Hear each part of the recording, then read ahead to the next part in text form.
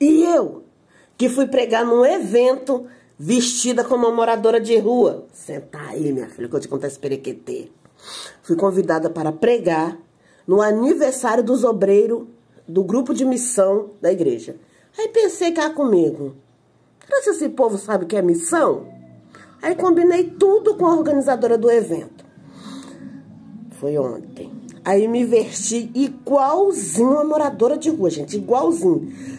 Pra completar, vocês não sabem o que, que a minha amiga fez. Ela pegou um pedacinho de bife, de fígado, botou assim na minha perna e, amarrou uma faixa dessas de curativa assim, foi enrolando, enrolando. Ficou igual como se eu tivesse uma ferida na perna.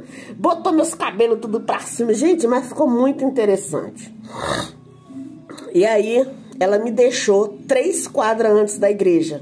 E eu saí andando, com, com, um saco na mão, só faltou o cachorro e uma coberta no ombro. Cheguei na calçada da igreja, sentei. Aí começou a chegar gente. E começou a chegar gente. E eu pensando aqui comigo, gente, ninguém vai me convidar para o culto, não. E olha, a igreja ficou lotada, mas lotada de cair gente pro lado de fora.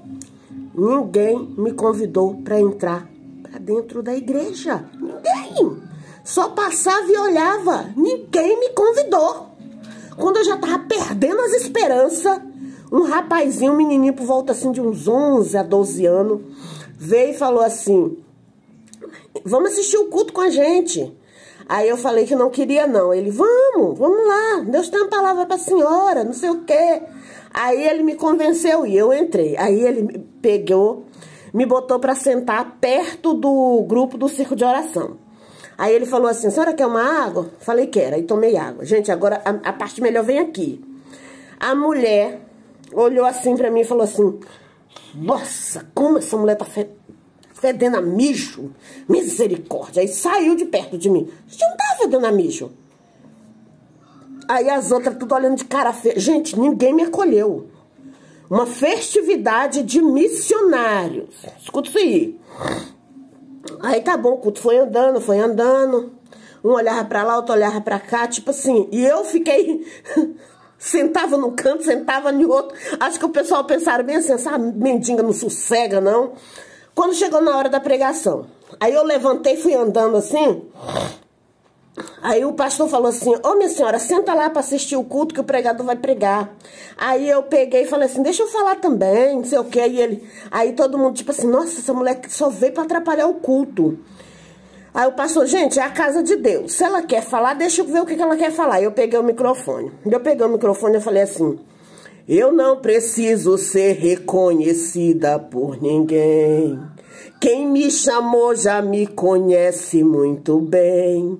Que diminua eu e que cresça Senhor em mim. Boa noite, noiva do Cordeiro. Eu sou Adele Silva e eu sou a preleitora dessa noite.